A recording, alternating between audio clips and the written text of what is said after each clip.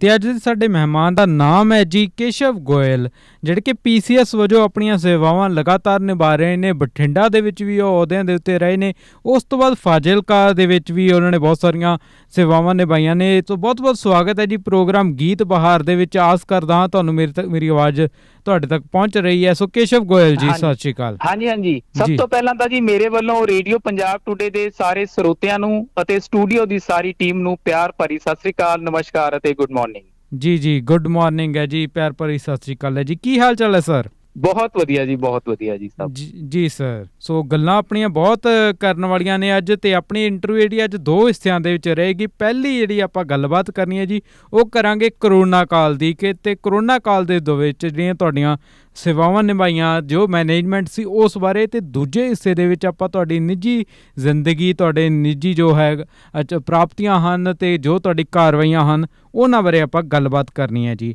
ਸੋ ਸਭ ਤੋਂ। ਪਹਿਲਾਂ ਆਪਾਂ ਜਿਹੜੀ ਗੱਲਬਾਤ ਸ਼ੁਰੂ ਕਰਾਂਗੇ ਜੀ ਕਰੋਨਾ ਦੇ ਹੀ ਤਜਰਬਿਆਂ ਤੋਂ। ਤੁਹਾਡਾ ਨਿੱਜੀ ਤੌਰ ਉਤੇ ਤਜਰਬਾ ਕਿਵੇਂ ਰਿਹਾ? ਤੁਹਾਡੀ ਫੈਮਿਲੀ ਨੂੰ ਲੈ ਕੇ ਤੁਹਾਨੂੰ ਖੁਦ ਨੂੰ ਲੈ ਕੇ ਕੋਈ ਇਨਫੈਕਸ਼ਨ ਵਗੈਰਾ ਵੀ ਹੋਈ ਸੀ ਜਾਂ ਹਜੇ ਤੱਕ ਪੂਰਾ ਜਿਹੜਾ ਵਾਹਿਗੁਰੂ ਦੀ ਕਿਰਪਾ ਰਹੀ ਹੈ? ਨਹੀਂ ਕਿਰਪਾ ਹੀ ਰਹੀ ਜੀ। ਵਧੀਆ। ਚਲੋ ਸਮਾਂ ਲੰਘਿਆ ਬਟ ਆਪਣਾ ਬਚਾਅ ਕਰਦੇ ਰਹੇ ਟਾਈਮ ਟੂ ਟਾਈਮ ਜੀ ਜੀ ਬਹੁਤ ਚੰਗੀ ਗੱਲ ਹੈ ਜੀ। ਅਸੀਂ ਆਸ ਕਰਦੇ ਹਾਂ ਅੱਗੇ ਵੀ ਇਦਾਂ ਹੀ ਬਚਾ ਬਣਿਆ। ਰਵੇ ਜੀ। ਬਿਲਕੁਲ ਜੀ। ਸੋ ਕੋਵਿਡ ਦੇ ਐਕਸਪੀਰੀਐਂਸਸ ਤੁਹਾਡੇ ਕਿਵੇਂ ਦੇ ਰਹੇ ਨੇ? ਖਾਸ ਕਰਕੇ ਕਿਉਂਕਿ ਬਹੁਤ ਸਾਰੇ ਚੈਲੰਜਸ ਸਨ। ਤੁਸੀਂ ਇੱਕ ਪੀਸੀਐਸ ਹੋ ਤੁਸੀਂ ਇੱਕ ਐਸਡੀਐਮ ਵਜੋਂ ਆਪਣੀਆਂ ਸੇਵਾਵਾਂ ਨਿਭਾ ਰਹੇ ਹੋ। ਫਾਜ਼ਿਲਕਾ ਦੇ ਵਿੱਚ ਫਾਜ਼ਿਲਕਾ ਜਿਹੜਾ ਹੈ ਇੱਕ ਬਾਰਡਰ ਏਰੀਆ ਵੀ ਆ ਜਾਂਦਾ ਹੈ। ਸੋ ਕਿਵੇਂ ਦਾ ਇਹ। ਐਕਸਪੀਰੀਐਂਸਸ ਰਹੇ? ਚੈਲੰਜਸ ਕੀ ਕੀ ਸਨ ਸੀ? ਹਾਂਜੀ ਜੋ ਇਹ ਸਾਰਾ ਸਮਾਂ ਸੀ ਪਹਿਲੀ ਗੱਲ ਤਾਂ ਇਹ ਹਰ ਵਰਗ ਦੇ ਲਈ ਸਮਾਜ ਦੇ ਹਰ ਵਰਗ ਲਈ ਚੁਣੌਤੀਆਂ ਭਰਿਆ ਸੀ। ਭਾਵੇਂ ਪਹਿਲੀ। ਲਹਿਰ ਦੀ ਗੱਲ ਕਰੀਏ ਭਾਵੇਂ ਦੂਸਰੀ ਲਹਿਰ ਦੀ ਗੱਲ ਕਰੀਏ ਹਰ ਚੁਣੌਤੀ ਇੱਕ ਨਵੀਂ ਚੁਣੌਤੀ ਸੀ ਜਿਸ ਦਾ ਕਿਸੇ ਨੂੰ ਕੋਈ ਜ਼ਿਆਦਾ ਤਜਰਬਾ ਵੀ ਨਹੀਂ ਸੀ। ਜੀ। ਭਾਵੇਂ ਮੈਡੀਕਲ ਸਹੂਲਤਾਂ ਦੀ ਗੱਲ ਹੋਵੇ ਵਪਾਰਿਕ ਅਦਾਰਿਆਂ ਦੀ ਗੱਲ ਹੋਵੇ ਤੇ ਰਾਸ਼ਨ ਦੀਆਂ ਕਿੱਟਾਂ ਦੀ ਵੰਡ ਕਰਫਿਊ ਲੋਕਡਾਊਨ ਦੀ ਇੰਪਲੀਮੈਂਟੇਸ਼ਨ ਐਨਫੋਰਸਮੈਂਟ ਜੀ। ਤਾਂ ਹੁਣ ਦੀ ਲਹਿਰ ਦੇ ਵਿੱਚ ਆਕਸੀਜਨ ਦੀ ਡਿਮਾਂਡ ਹਸਪੀਟਲਾਂ ਵੱਲੋਂ ਰੇਟ ਕੰਟਰੋਲ ਇਹ ਸਾਰੇ ਜੋ ਕੰਮ ਸੀ ਬੜੇ ਚੁਣੌਤੀਆਂ ਨਾਲ ਭਰਪੂਰ ਸਨ। ਬਿਲਕੁਲ ਜੀ ਬਿਲਕੁਲ ਜੀ। ਤੇ ਇਸ ਦੇ ਵਿੱਚ ਵੱਡੀ ਗੱਲ ਇਹ ਸੀ ਕਿ ਕੰਮ ਕਰਦੇ ਕਰਦੇ ਤੁਸੀਂ ਆਪਣਾ ਵੀ ਬਚਾਅ ਰੱਖਣਾ ਆਪਣੇ ਪਰਿਵਾਰ ਦਾ ਵੀ ਬਚਾਅ ਰੱਖਣਾ ਸਟਾਫ ਦਾ ਵੀ ਬਚਾਅ ਰੱਖਣਾ ਇਹ। ਇੱਕ ਆਪਣੇ ਆਪ 'ਚ ਇੱਕ ਵੱਡਾ ਚੈਲੰਜ ਸੀ। ਬਿਲਕੁਲ ਜੀ। ਸੋ ਇਹਦੇ ਵਿੱਚ ਜਿਵੇਂ ਜਿਵੇਂ ਸਾਨੂੰ ਸਰਕਾਰ ਤੋਂ ਗਾਈਡਲਾਈਨਸ ਮਿਲਦੀਆਂ ਗਈਆਂ ਅਸੀਂ ਸੂਝ-ਬੂਝ ਦੇ ਨਾਲ ਇੰਪਲੀਮੈਂਟੇਸ਼ਨ ਐਨਫੋਰਸਮੈਂਟ ਕਰਨ ਦੀ ਕੋਸ਼ਿਸ਼ ਕੀਤੀ। ਜੀ। ਤੇ ਜਿਸ ਤਰ੍ਹਾਂ ਸਭ ਤੋਂ ਪਹਿਲਾਂ ਤਾਂ ਅਸੀਂ ਜੋ ਵੀ ਕੋਈ ਨਵੀਂ ਗਾਈਡਲਾਈਨ ਆਂਦੀ ਤਾਂ। ਉਸ ਦੇ ਵਿੱਚ ਸਮੂਹ ਵਿਭਾਗਾਂ ਦੀ ਮਦਦ ਲੈ ਕੇ ਪੁਲਿਸ ਪ੍ਰਸ਼ਾਸਨ ਸਿਹਤ ਵਿਭਾਗ ਤੇ ਹੋਰ ਅਦਾਰਿਆਂ ਨੂੰ ਨਾਲ ਲੈ ਕੇ ਅਸੀਂ ਮੀਟਿੰਗ ਕਰਦੇ। ਜੋ ਇੰਪਲੀਮੈਂਟੇਸ਼ਨ ਦੇ ਵਿੱਚ ਜੋ ਆਉਣ ਵਾਲੇ ਦਿਨਾਂ ਦੇ ਵਿੱਚ ਮੁਸ਼ਕਲਾਂ ਆਉਣ ਵਾਲੀਆਂ ਨੇ ਉਹਨਾਂ ਤੋਂ ਲੋਕਾਂ ਨੂੰ ਸੋਸ਼ਲ ਮੀਡੀਆ ਰਾਹੀਂ ਐਸੋਸੀਏਸ਼ਨਸ ਰਾਹੀਂ ਸਮਾਜ ਸੇਵੀ ਸੰਸਥਾ ਰਾਹੀਂ ਜਾਣੂ ਕਰਾਉਂਦੇ। ਤੇ ਫਿਰ ਕਿਤੇ ਕਿਤੇ ਸਾਨੂੰ ਸਖਤੀ ਵੀ ਕਰਨੀ ਪਈ ਕਿ ਉਸ ਇੰਪਲੀਮੈਂਟੇਸ਼ਨ ਨੂੰ ਇਫੈਕਟਿਵ ਤਰੀਕੇ ਦੇ ਨਾਲ ਐਨਫੋਰਸ ਕੀਤਾ ਜਾ ਸਕੇ। ਜੀ ਜੀ ਜੀ। ਤੁਸੀਂ ਸਖਤੀ ਦੀ ਗੱਲ ਕਰ ਰਹੇ ਹੋ। ਵੈਸੇ ਤੁਹਾਡੀ ਬੋਲਬਾਣੀ ਤੋਂ ਤੁਸੀਂ ਬੜੇ ਨਰਮ ਸੁਭਾਅ ਦੇ ਲੱਗਦੇ ਹੋ ਤੇ ਬੜੇ ਸੌਜੇ ਲੱਗ ਰਹੇ ਹੋ। ਸੋ ਸਖਤੀ ਫਿਰ ਤੁਸੀਂ ਆਪ ਕਰ ਲੈਂਦੇ ਸੀਗੇ ਜਾਂ ਪੁਲਿਸ ਦੀ ਤਾਂ ਲੈਂਦੇ ਇਸ ਸੀ? ਤਰ੍ਹਾਂ ਦੀ ਸਖਤੀ ਜਿਹੜੀ ਹੈ ਕੋਈ ਲਿਖਤੀ ਪੜਤੀ ਵੀ ਕਰਨੀ ਪੈਂਦੀ। ਕਈ ਵਾਰੀ ਪੁਲਿਸ ਪ੍ਰਸ਼ਾਸਨ ਦੀ ਮਦਦ ਨਾਲ ਕੋਈ ਰੇਡ ਜਾਂ ਚੈਕਿੰਗ ਦੇ ਤਰੀਕੇ ਕਰਨੀ ਪੈਂਦੀ ਜਾਂ ਕੋਈ ਚਲਾਨ ਵਗੈਰਾ ਕੱਟ ਕੇ ਸੋਸ਼ਲ ਡਿਸਟੈਂਸਿੰਗ ਦੇ ਜਾਂ ਮਾਸਕ ਦੇ ਜਿਵੇਂ ਜਿਵੇਂ ਗਾਈਡਲਾਈਨਸ ਗਵਰਨਮੈਂਟ ਦੀਆਂ ਆ ਰਹੀਆਂ ਸੀ। ਉਸ ਤਰ੍ਹਾਂ ਉਸ ਤਰ੍ਹਾਂ ਜਿਹੜੀ ਸੀ ਇਹ ਕਰਨੀ ਪਈ ਜੀ ਜੀ ਜੀ ਬਿਲਕੁਲ ਜੀ ਤੇ ਤੁਸੀਂ ਜਿਵੇਂ ਗੱਲ ਕੀਤੀ ਹੈ ਕਿ ਬਹੁਤ ਸਾਰੇ ਚੈਲੰਜਸ ਸਨ ਇਸ ਦੌਰਾਨ ਵੱਡਾ ਚੈਲੰਜ ਫਾਜ਼ਿਲਕਾ ਜ਼ਿਲ੍ਹੇ ਦੀ ਗੱਲ ਕਰੀਏ ਤਾਂ ਬਾਰਡਰ ਏਰੀਆ ਦਾ ਆ ਜਾਂਦਾ ਹੈ ਖਾਸ ਕਰਕੇ ਬਹੁਤ ਸਾਰੇ ਪਿੰਡ ਨੇ ਜੋ ਬਾਰਡਰ ਏਰੀਆ ਦੇ ਵਿੱਚ ਵੀ ਪੈ ਜਾਂਦੇ ਨੇ ਤੋਂ ਬਾਰਡਰ। ਏਰੀਆ ਤੱਕ ਕਿਵੇਂ ਰਾਬਤਾ ਕੀਤਾ ਜਾਂਦਾ ਸੀਗਾ ਜੀ ਸਭ। ਤੋਂ ਜੋ ਮੇਨ ਚੈਲੰਜ ਸਾਨੂੰ ਇਸ ਦੂਸਰੀ ਲਹਿਰ ਦੇ ਵਿੱਚ ਆਇਆ ਉਹ ਇਹ ਕਿ ਕੰਟੈਕਟ ਟ੍ਰੇਸਿੰਗ ਤੇ ਕੰਟੈਕਟ ਸੈਂਪਲਿੰਗ ਦੇ ਵਿੱਚ ਸਾਨੂੰ ਬੜੀ ਮੁਸ਼ਕਲ ਆਈ ਲੋਕ। ਸੈਂਪਲਿੰਗ ਲਈ ਬੜੇ ਮਤਲਬ ਅੱਗੇ ਨਹੀਂ ਆ ਰਹੇ ਸੀ ਜੀ ਸੋ ਇਸ ਦੇ ਲਈ ਸਾਨੂੰ ਮਾਈਕਰੋ ਮੈਨੇਜਮੈਂਟ ਕਰਕੇ ਛੋਟੀਆਂ-ਛੋਟੀਆਂ ਟੀਮਾਂ ਗਠਿਤ ਕਰਕੇ ਪਿੰਡ-ਪਿੰਡ ਤੋਰਨੀਆਂ ਪਈਆਂ ਜਿਸ ਦੇ। ਨਾਲ ਸਾਡੇ ਟੀਚਰਸ ਐਜੂਕੇਸ਼ਨ ਡਿਪਾਰਟਮੈਂਟ ਤੋਂ ਐਗਰੀਕਲਚਰ ਡਿਪਾਰਟਮੈਂਟ ਤੋਂ ਰੈਵਨਿਊ ਡਿਪਾਰਟਮੈਂਟ ਤੋਂ ਪਟਵਾਰੀ ਉਹਨਾਂ ਦੀ ਮਦਦ ਲੈਣੀ ਪਈ ਕਿ ਜਿਨ੍ਹਾਂ। ਦਾ ਪਿੰਡ ਦੇ ਵਿੱਚ ਗਰਾਊਂਡ ਲੈਵਲ ਤੇ ਨਾਤਾ ਜੁੜਿਆ ਹੁੰਦਾ ਹੈ। ਬਿਲਕੁਲ ਜੀ। ਤੇ ਲੋਕਾਂ ਨੂੰ ਅਵੇਅਰ ਕਰਕੇ ਉਹਨਾਂ ਨੂੰ ਮੋਟੀਵੇਟ ਕਰਕੇ ਵੀ ਇਨ ਕੇਸ ਜੇ ਤੁਸੀਂ ਪੋਜ਼ਿਟਿਵ ਆਂਦੇ ਵੀ ਹੋ ਤਾਂ। ਤੁਹਾਡਾ ਟ੍ਰੀਟਮੈਂਟ ਜਿਹੜਾ ਕੀਤਾ ਜਾਏਗਾ ਤੁਹਾਨੂੰ ਫਤਿਹ ਕਿਟ ਦੇ ਕੇ ਤੁਹਾਡਾ ਇਲਾਜ ਕਰਵਾਇਆ ਜਾਏਗਾ। ਅਗਰ ਤੁਸੀਂ ਸੈਂਪਲਿੰਗ ਨਹੀਂ ਕਰਵਾਓਗੇ ਤਾਂ ਤੁਸੀਂ ਵੱਡੀ ਮੁਸ਼ਕਲ ਦੇ ਵਿੱਚ ਆ ਸਕਦੇ ਹੋ। ਇਸ ਤਰ੍ਹਾਂ ਇਸ ਤਰ੍ਹਾਂ ਸਟੈਪ ਬਾਈ ਸਟੈਪ ਜਿਹੜਾ ਕੋਸ਼ਿਸ਼ ਕੀਤੀ ਗਈ। ਜੀ ਜੀ ਜੀ ਬਿਲਕੁਲ ਜੀ। ਤੇ ਅਗਲੀ ਗੱਲ ਮੈਂ ਇਹ ਵੀ ਪੁੱਛਣੀ ਚਾਹੂੰਗਾ ਜੀ ਤੁਸੀਂ ਪੀਸੀਐਸ ਦਾ ਟੈਸਟ ਕਲੀਅਰ ਕੀਤਾ ਉਹਦੇ ਤੋਂ ਪਹਿਲਾਂ ਬਹੁਤ ਪੜ੍ਹਾਈ ਕਰਨੀ ਪੈਂਦੀ ਹੈ ਜਿਸ 'ਚ ਜਨਰਲ ਸਟੱਡੀ ਜੀਕੇ ਬਹੁਤ ਵੱਡਾ ਪੋਰਸ਼ਨ ਆ ਜਾਂਦਾ ਹੈ ਹਿਸਟਰੀ ਬਹੁਤ ਵੱਡਾ ਇੰਪੋਰਟੈਂਟ ਰੋਲ ਹੁੰਦੀ ਹੈ। ਇਸ ਦੇ ਨਾਲ ਹੀ ਇਕਨੋਮਿਕਸ ਦੀ ਗੱਲ ਕਰ ਲਓ ਚਾਹੇ ਪੋਲੀਟੀਕਲ ਸਾਇੰਸ ਦੀ ਗੱਲ ਕਰ ਲਓ ਸਾਰਾ ਕੁਝ ਦਾ ਮਿਸ਼ਰਣ ਹੁੰਦਾ ਹੈ। ਤੇ ਬਹੁਤ ਕੁਝ ਤੁਸੀਂ ਪੜਿਆ ਹੋਇਆ ਹੁੰਦਾ ਤੇ ਇਸ ਦੌਰਾਨ ਤੁਸੀਂ ਕੋਈ ਕ੍ਰਾਈਸਿਸ ਪੜਿਆ ਸੀ ਇਦਾਂ ਦਾ? ਕੋਈ ਹੈਲਥ ਕ੍ਰਾਈਸਿਸ ਜਾਂ ਕੋਈ ਹੋਰ ਕ੍ਰਾਈਸਿਸ ਜੀ। ਨਹੀਂ ਹੈਲਥ ਕ੍ਰਾਈਸਿਸ ਨਹੀਂ ਪੜਿਆ ਸੀ ਵੈਸੇ ਅਸੀਂ ਡਿਜ਼ਾਸਟਰ ਮੈਨੇਜਮੈਂਟ ਦੇ ਰਿਲੇਟਡ ਜਿਹੜੇ ਟੌਪਿਕਸ ਨੇ ਉਹ ਸਟੱਡੀ ਕਰਦੇ ਰਹੇ। ਪਰ ਇਹ ਕੁਝ ਕੁਝ ਚੀਜ਼ਾਂ ਜਿਵੇਂ ਮੈਂ ਤੁਹਾਨੂੰ ਪਹਿਲਾਂ ਵੀ ਦੱਸਿਆ ਕਿ ਚੁਣੌਤੀਆਂ ਨਵੀਆਂ ਸੀ ਹੈਲਥ ਦੇ ਰਿਲੇਟਡ ਸੀ ਹਰ ਬੰਦਾ ਜੋ ਹੈ ਪੋਜ਼ਿਟਿਵ ਦੇ ਨੇੜੇ ਜਾਣ ਤੋਂ ਵੀ ਜਿਹੜਾ ਸੀ ਡਰਦਾ ਸੀ। ਜਾਂ। ਉਸ ਕੰਜਸਟਿਡ ਏਰੀਆ 'ਚ ਪੋਪੂਲੇਸ਼ਨ ਦੇ ਵਿੱਚ ਜਾਣ ਤੋਂ ਓਵਰ ਕਰਾਊਡਡ ਪਲੇਸ ਤੇ ਜਾਣ ਤੋਂ ਵੀ ਡਰ ਦੇ ਵਿੱਚ ਸੀ। ਸੋ ਇਹ ਇੱਕ ਬੜੇ ਹੀ ਨਵਾਂ ਤਰ੍ਹਾਂ ਦਾ ਚੈਲੰਜ ਸੀਗਾ ਜੋ ਥੋੜਾ ਥੋੜਾ ਥੋੜਾ ਥੋੜਾ ਇੱਕ ਲਰਨਿੰਗ ਹੁੰਦੀ ਗਈ ਤੇ ਇੰਪਲੀਮੈਂਟੇਸ਼ਨ ਹੁੰਦੀ ਗਈ। ਜੀ ਜੀ ਜੋ ਪਹਿਲੀ ਲਹਿਰ ਦੇ ਵਿੱਚ ਅਸੀਂ ਸਿੱਖਿਆ ਉਸ ਨੂੰ ਦੂਜੀ ਲਹਿਰ ਦੇ ਵਿੱਚ ਅਸੀਂ ਇੰਪਲੀਮੈਂਟ ਇਮੀਡੀਏਟਲੀ ਕਰਨ ਦੀ ਕੋਸ਼ਿਸ਼ ਕੀਤੀ ਕਿ ਜਿਹੜੀਆਂ ਉਸ ਟਾਈਮ ਸਾਨੂੰ ਮੁਸ਼ਕਲਾਂ ਆਈਆਂ ਉਹਨਾਂ ਨੂੰ ਪਹਿਲਾਂ ਹੀ ਕਵਰ ਕਰ ਲਿੱਤਾ ਜਾਵੇ। ਜੀ ਜੀ ਜੀ ਜੀ ਬਿਲਕੁਲ ਚਾਹੇ ਉਹ ਲੋਕਾਂ ਦੇ ਡੇ ਟੂ ਡੇ ਰੂਟੀਨ ਦੇ ਨਾਲ ਰਿਲੇਟਡ ਹੋਣ ਚਾਹੇ ਉਹ ਹੈਲਥ ਡਿਪਾਰਟਮੈਂਟ ਦੇ ਰਿਲੇਟਡ ਹੋਣ ਚਾਹੇ ਉਹ ਸਾਡੀ ਹੋਰ ਤਰ੍ਹਾਂ ਕਿਸੇ ਤਰ੍ਹਾਂ ਦੀ ਕਰਾਊਡ ਮੈਨੇਜਮੈਂਟ ਦੇ ਰਿਲੇਟਡ ਹੋਣ ਅਸੀਂ ਸਟਾਰਟਿੰਗ ਤੋਂ ਹੀ ਉਹਨਾਂ ਚੀਜ਼ਾਂ ਨੂੰ ਇੰਪਲਾਈ ਕਰਨ ਦੀ ਕੋਸ਼ਿਸ਼ ਕੀਤੀ। ਜੀ। ਜੀ, ਬਿਲਕੁਲ ਜੀ। ਜੀ ਤੇ ਇਸ ਦੇ ਨਾਲ ਹੀ ਮੈਂ ਇਹ ਵੀ ਜਾਣਨਾ ਚਾਹੂੰਗਾ ਜੀ ਤੁਸੀਂ ਜਿਵੇਂ ਬਹੁਤ ਸਾਰੀਆਂ ਗੱਲਾਂ ਹੋਰ ਤਾਂ ਦੱਸ ਹੀ ਰਹੇ ਹੋ।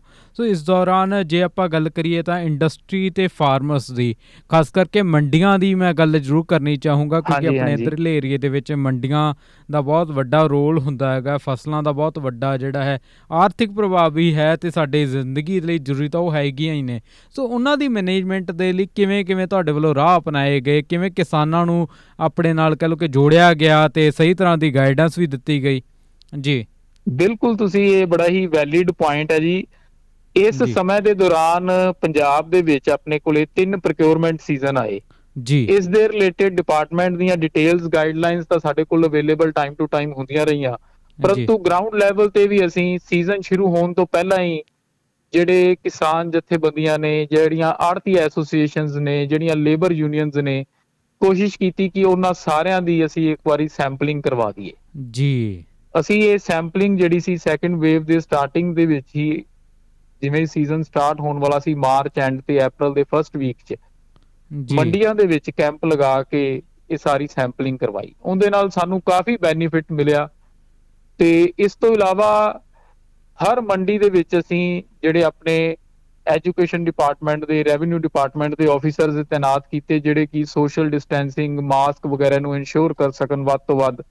ਜੀ। ਤੇ ਟਾਈਮ ਟੂ ਟਾਈਮ ਵੀ ਅਸੀਂ ਜਿਹੜੀਆਂ ਉੱਥੇ ਲੇਬਰ ਪਾਰਟੀਆਂ ਲੱਗੀਆਂ ਹੋਈਆਂ ਸੀ ਜਾਂ ਹੋਰ ਉੱਥੇ ਆੜਤੀਆ ਦੇ ਕੋਲ ਇੰਨੀ ਲੇਬਰ ਕੰਮ ਕਰਦੀ ਹੈ ਉਹਨਾਂ ਦੇ ਸਟਾਫ ਕੰਮ ਕਰਦਾ ਹੈ। ਟਾਈਮ ਟੂ ਟਾਈਮ ਹਰ ਦੂਸਰੇ ਤੀਸਰੇ ਦਿਨ ਉੱਥੇ ਸੈਂਪਲਿੰਗ ਦਾ ਕੈਂਪ ਅਸੀਂ ਲਗਾਉਂਦੇ ਰਹੇ। ਜੀ ਜੀ ਜਿਸ ਜਿਸ ਨਾਲ ਸਾਨੂੰ ਜਿਵੇਂ ਜਿਵੇਂ ਵੀ ਕੋਈ ਉੱਥੇ ਕੋਈ ਪੋਜ਼ਿਟਿਵ ਆਉਂਦੇ ਸੀ ਤਾਂ ਉਹਨਾਂ ਨੂੰ ਆਈਸੋਲੇਟ ਕਰਨ ਲਈ ਸਾਨੂੰ ਬੜੀ ਮਦਦ ਮਿਲੀ। ਬਿਲਕੁਲ ਜੀ। ਤੇ ਹਰ ਮੰਡੀ ਦੇ ਐਂਟਰੈਂਸ ਤੇ ਥਰਮੋਮੀਟਰਸ ਦੇ ਨਾਲ ਸਕੈਨਿੰਗ ਥਰਮਲ ਸਕੈਨਿੰਗ ਤੇ ਉਹ ਸਾਰੀਆਂ ਚੀਜ਼ਾਂ ਜਿਹੜੀਆਂ C as per government guidelines ਉਹ ਵੀ ਇੰਪਲੀਮੈਂਟ ਅਸੀਂ ਕਰਦੇ ਰਹੇ। ਪਰ ਇਹ ਇੱਕ ਵਾਕਿਆ ਹੀ ਵੱਡਾ ਚੈਲੰਜ ਸੀ। ਪ੍ਰੋਕਿਉਰਮੈਂਟ ਵੀ ਜਿਹੜਾ ਇੱਕ ਪੀਕ ਤੇ ਸੀ ਤੇ ਕੋਵਿਡ ਦੀ ਸੈਕੰਡ ਵੇਵ ਵੀ ਜਿਹੜੀ ਸੀ ਉਹ ਪੀਕ ਤੇ ਸੀ। ਤੇ ਇੱਕ ਬੜਾ ਜ਼ਰੂਰੀ ਹੁੰਦਾ ਕਿ ਦੋਨਾਂ ਚੀਜ਼ਾਂ ਨੂੰ ਸਾਈਮਲਟੇਨੀਅਸਲੀ ਬਿਲਕੁਲ ਜੀ। ਪੈਰਲਲੀ ਚਲਾਇਆ ਜਾ ਸਕੇ। ਬੜਾ ਡਿਫਿਕਲਟ ਟਾਈਮ ਸੀ ਮਈ ਮੰਥ ਖਾਸ ਕਰਕੇ। ਜੀ ਜੀ ਜੀ। ਜੀ ਇਸੇ ਦੌਰਾਨ ਜੇ ਆਪਾਂ ਦੇਖੀਏ ਤਾਂ ਸਮਾਜ ਸੇਵੀ ਸੰਸਥਾਵਾਂ ਨੇ ਬਹੁਤ ਵਧੀਆ ਰੋਲ ਅਪਣਾਇਆ ਹੈ ਤੇ ਉਹਨਾਂ ਦੇ ਆਪਾਂ ਕਹ ਲਓ ਕਿ ਕਾਫੀ ਦੇਣ ਰਹੀ ਹੈ ਸਾਨੂੰ ਇਸ ਪੂਰੇ ਕਰੋਨਾ ਕਾਲ ਦੌਰਾਨ। ਸੋ ਕਿਹੜੀ ਕਿਹੜੀ ਸਮਾਜ ਸੇਵੀ ਸੰਸਥਾ ਨੂੰ ਸਾਡੇ ਨਾਲ ਜੋੜਨਾ ਚਾਹੀਦਾ ਹੈ? ਸਰਕਾਰ ਜਾਂ ਪ੍ਰਸ਼ਾਸਨ ਨੂੰ ਆਪਣੇ ਨਾਲ ਰੱਖਣਾ ਚਾਹੀਦਾ ਇਸ ਦੀ ਚੋਣ ਤੁਸੀਂ ਕਿਵੇਂ ਕਰਦੇ ਸੀਗੇ ਜੀ? ਜੀ। ਬਿਲਕੁਲ ਇਹ ਗੱਲ ਠੀਕ ਹੈ ਜੀ। ਕਈ ਸਮਾਜ ਸੇਵੀ ਸੰਸਥਾਵਾਂ ਦਾ ਅਸੀਂ ਮੀਟਿੰਗ ਕੀਤੀ। ਕਿਸੇ ਸਮਾਜ ਸੇਵੀ ਸੰਸਥਾਵਾਂ ਦਾ ਕਿਸ ਤਰ੍ਹਾਂ ਦਾ ਰੋਲ ਰਿਹਾ? ਜਿਵੇਂ ਮੈਂ ਇੱਕ ਐਗਜ਼ਾਮਪਲ ਦੇਣੀ ਚਾਹਾਂਗਾ ਕਿ ਇੱਥੇ ਸਾਡੇ ਫਾਜ਼ਲਕਾ ਦੇ ਵਿੱਚ ਇੱਕ ਸਮਾਜ ਸੇਵੀ ਸੰਸਥਾ ਉਹਨਾਂ ਨੇ ਸਾਡੀ ਡੈੱਡ ਬਾਡੀ ਮੈਨੇਜਮੈਂਟ ਦੇ ਵਿੱਚ ਬੜੀ ਮਦਦ ਕੀਤੀ। ਅੱਛਾ ਜੀ। ਜਦੋਂ ਕਰੋਨਾ ਕਾਲ ਦਾ ਪੀਕ ਸੀ ਤਾਂ ਉਹਨਾਂ ਨੇ ਡੈੱਡ ਬਾਡੀ ਮੈਨੇਜਮੈਂਟ ਦੇ ਵਿੱਚ ਬੜੀ ਵਧੀਆ ਤਰੀਕੇ ਦੇ ਨਾਲ ਪ੍ਰਸ਼ਾਸਨ ਦੇ ਨਾਲ ਮੋਢੇ ਨਾਲ ਮੋਢਾ ਲਾ ਕੇ ਮਦਦ ਕੀਤੀ। ਕੁਝ ਸਮਾਜ ਸੇਵੀ ਸੰਸਥਾਵਾਂ ਨੇ ਜਿਹੜੇ ਸੈਲਫ ਹੈਲਪ ਗਰੁੱਪ ਸੀ ਜਿਨ੍ਹਾਂ ਨਾਲ ਲੇਡੀਜ਼ ਜੁੜੀਆਂ ਹੋਈਆਂ ਸੀ ਉਹਨਾਂ ਨੇ ਮਾਸਕ ਬਣਾਉਣ ਦੇ ਵਿੱਚ ਮਦਦ ਕੀਤੀ ਬਹੁਤ। ਬਿਲਕੁਲ ਜੀ ਜੀ। ਤੇ ਕੁਝ ਸਮਾਜ ਸੇਵੀ ਸੰਸਥਾਵਾਂ ਨੇ ਸਾਡੇ ਦੇ ਨਾਲ ਸੈਂਪਲਿੰਗ ਦੇ ਵਿੱਚ ਬੜੀ ਮਦਦ ਕੀਤੀ। ਅੱਛਾ ਜੀ। ਕਿਉਂਕਿ ਸੈਂਪਲਿੰਗ ਠੀਕ ਹੈ ਹੈਲਥ ਟੀਮ ਨੇ ਕਰਨੀ ਹੈ ਨਾਲ ਪੁਲਿਸ ਪਾਰਟੀ ਵੀ ਤਨਾਤ ਹੈ।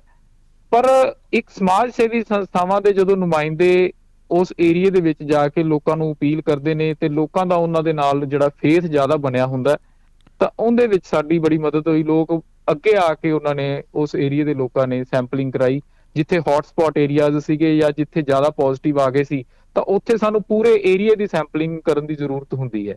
ਜੀ ਬਿਲਕੁਲ ਉਸ ਵਿੱਚ ਸਮਾਜ ਸੇਵੀ ਸੰਸਥਾਵਾਂ ਨੇ ਰੋਲ ਅਦਾ ਕੀਤਾ। ਬਾਕੀ ਜੋ ਰਾਸ਼ਨ ਕੀਟਾਂ ਜਾਂ ਪੱਕਿਆ ਖਾਣਾ ਉਸ ਉਹ ਤਾਂ ਸਾਰੀਆਂ ਚੀਜ਼ਾਂ ਜਿਹੜੀਆਂ ਸੀ ਆਲਰੇਡੀ ਫਰਸਟ ਵੇਵ ਦੇ ਵਿੱਚ ਸਮਾਜ ਸੇਵੀ ਸੰਸਥਾਵਾਂ ਨੇ ਬੜਾ ਹੀ ਪ੍ਰੋਮਿਨੈਂਟ ਰੋਲ ਪਲੇ ਜੀ ਕੀਤਾ। ਬਿਲਕੁਲ ਜੀ ਬਿਲਕੁਲ ਜੀ। ਹਾਂਜੀ ਹਾਂਜੀ। ਜੀ ਤੇ ਤੁਸੀਂ ਸੈਂਪਲਿੰਗ ਦੀ ਵੀ ਗੱਲ ਕਰ ਰਹੇ ਹੋ ਤੇ ਇਲਾਜ ਦੀ ਵੀ ਤੇ ਡੈੱਡ ਬਾਡੀਜ਼ ਮੈਨੇਜਮੈਂਟ ਦੀ ਵੀ ਗੱਲਬਾਤ ਕਰ ਰਹੇ ਹੋ। ਇਸੇ ਦੌਰਾਨ ਵੈਕਸੀਨੇਸ਼ਨ ਦੀ ਵੀ ਗੱਲ ਆਪਾਂ ਨੂੰ ਭੁੱਲਣੀ ਨਹੀਂ ਚਾਹੀਦੀ ਹੈਗੀ। ਬਿਲਕੁਲ ਜੀ। ਬਿਲਕੁਲ ਹਾਂਜੀ ਜੋ ਫੋਰਮੋਸਟ ਅੱਜ ਦਾ ਇੱਕ ਜੇ ਮੈਸੇਜ ਇੱਕ ਇੱਕ ਲਾਈਨ ਦੇ ਵਿੱਚ ਦੇਣਾ ਹੋਵੇ ਵੀ ਅੱਜ ਦਾ ਇੱਕ ਨਿਚੋੜ ਮੈਸੇਜ ਕੀ ਹੈ ਤਾਂ ਉਹ ਹੀ ਹੈ ਕਿ ਅਗਲਾ ਸਟੈਪ ਜੋ ਅਗਲਾ ਚੈਲੰਜ ਹੈ ਉਹ ਆਪਣੇ ਲਈ ਸਾਰਿਆਂ ਲਈ ਇਹ ਹੈ ਕਿ ਆਪਾਂ ਵੱਧ ਤੋਂ ਵੱਧ ਜਿਹੜੀ ਹੈ ਵੈਕਸੀਨੇਸ਼ਨ ਕਰੀਏ। ਜੀ। ਤੇ ਆਪਣੇ ਪਰਿਵਾਰ ਦੀ ਜਲਦ ਤੋਂ ਜਲਦ ਤੇ ਵੱਧ ਤੋਂ ਵੱਧ ਜਿਹੜੀ ਹੈ ਸੈਕੰਡ ਡੋਜ਼ ਤੱਕ ਕੰਪਲੀਟ ਕਰੀਏ।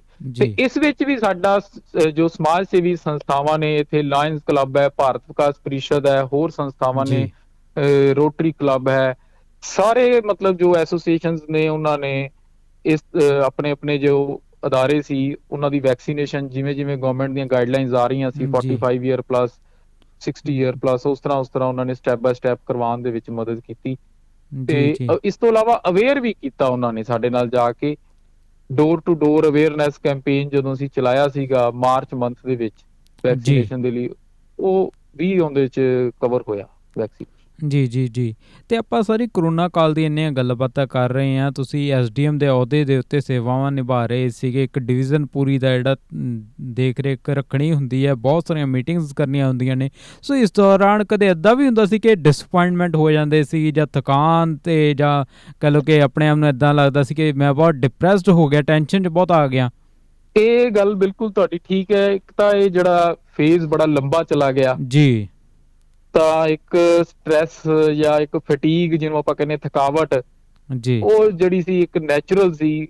ਤੇ ਇੱਕ ਇਹਦੇ ਵਿੱਚ ਜਿਹੜੀ ਸਭ ਤੋਂ ਵੱਡੀ ਗੱਲ ਇਹ ਸੀ ਕਿ ਅਗਰ ਖੁਦ ਅਸੀਂ ਥੋੜਾ ਜਿਹਾ ਡੀਮੋਟੀਵੇਟ ਹੁੰਦੇ ਤਾਂ ਸਾਡੇ ਸਾਹਮਣੇ ਜਿਹੜਾ ਸਟਾਫ ਬੈਠਾ ਹੁੰਦਾ ਹੈ ਜਿੰਨਾ ਸਾਡੇ ਨਾਲ ਦਿਨ ਰਾਤ ਕੰਮ ਕਰਨਾ ਹੈ, ਉਹ ਵੀ ਡੀਮੋਟੀਵੇਟ ਹੋ ਜਾਂਦਾ ਸੀ। ਤਾਂ ਇਹ ਮੁਸ਼ਕਿਲ ਦਾ ਸਮਾਂ ਸੀ ਬੜੀ ਜੀ। ਬਸ ਮਿਹਨਤ ਮਸ਼ੱਕਤ ਨਾਲ ਤੇ ਬਾਕੀ ਹੋਰ ਜੋ ਆਪਣੀਆਂ ਲਾਈਫ ਸਟਾਈਲ ਚੇਂਜਸ ਦਾ ਮਦਦ ਲੈ ਕੇ ਹੀ ਇਹਨੂੰ ਅੱਗੇ ਬੜੀ ਮੁਸ਼ਕਲ ਕੰਟੀਨਿਊ ਕਰਨਾ ਪਿਆ ਸਾਰਿਆਂ ਨੂੰ ਆਪਾਂ ਨੂੰ।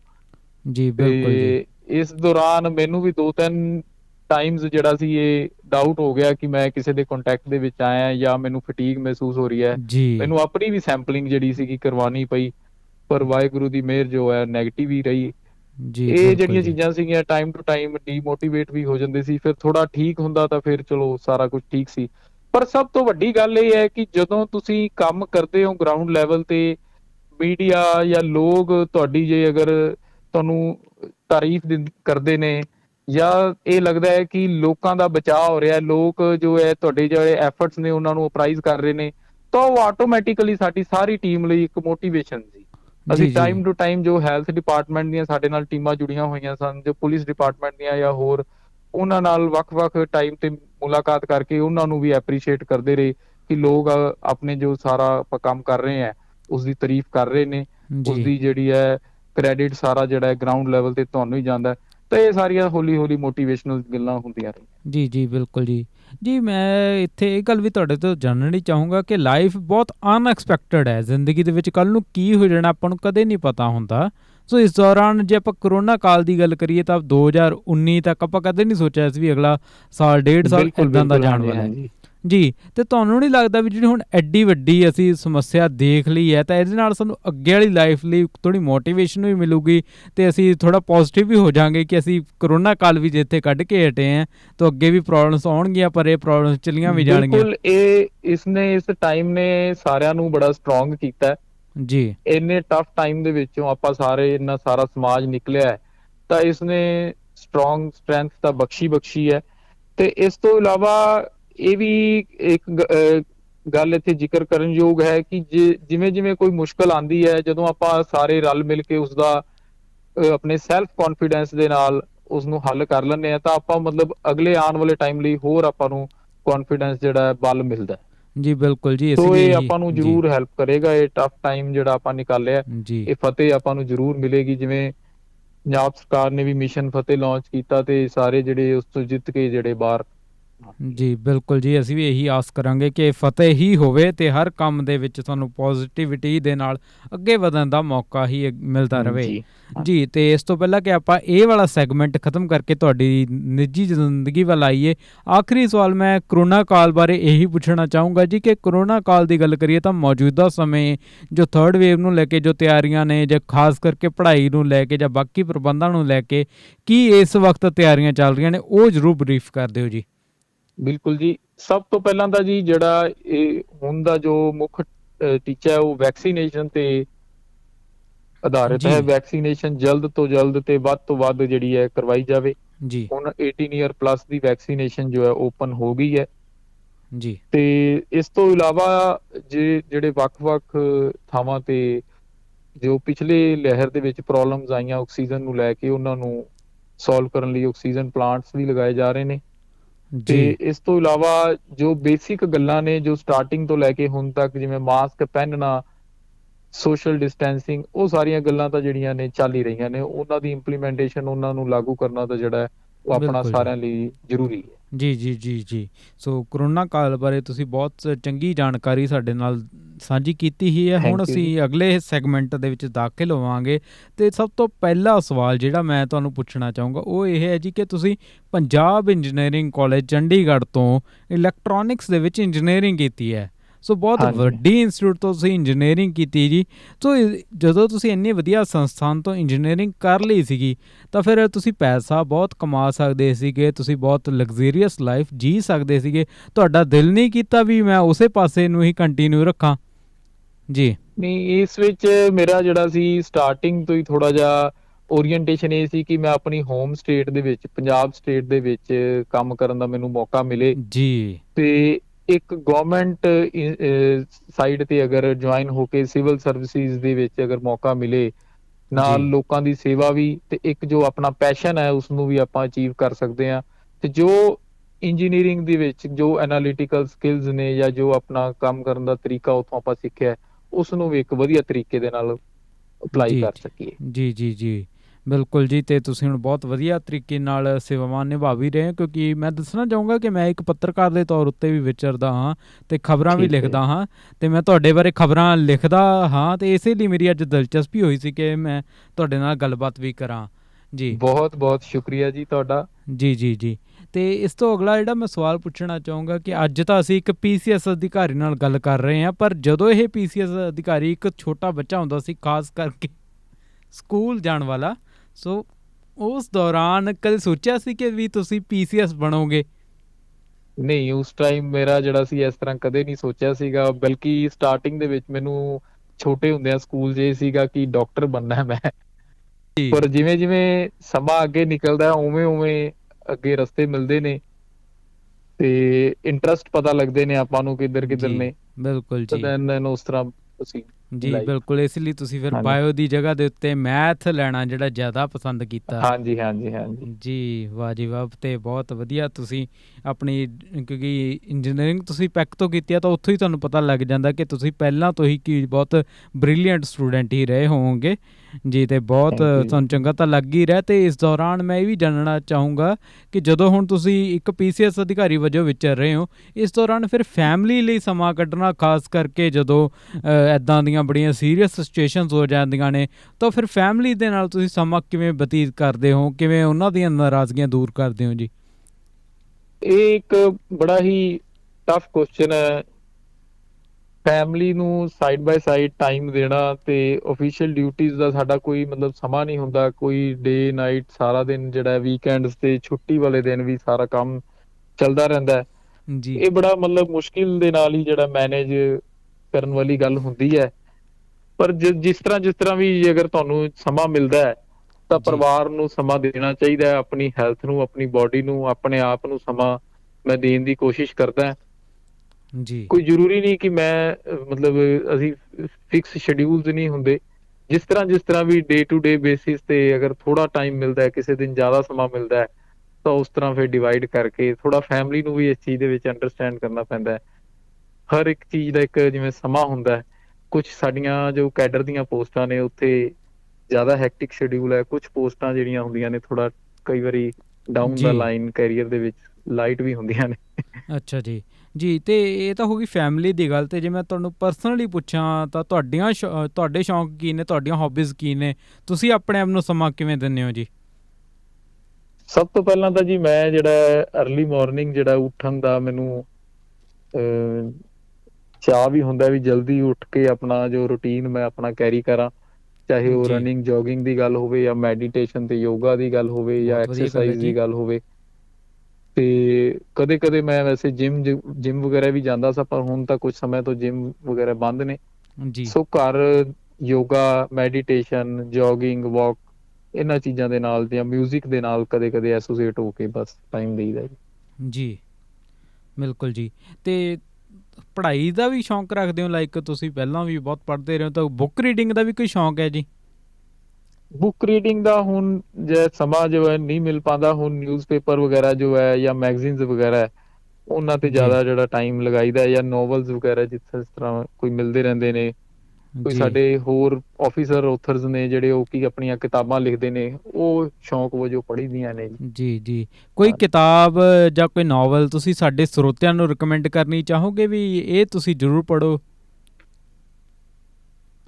ਇਸ ਤਰ੍ਹਾਂ ਤਾਂ ਕੋਈ ਮੇਰੇ ਅਜੇ ਧਿਆਨ 'ਚ ਨਹੀਂ ਹੈ ਜੀ।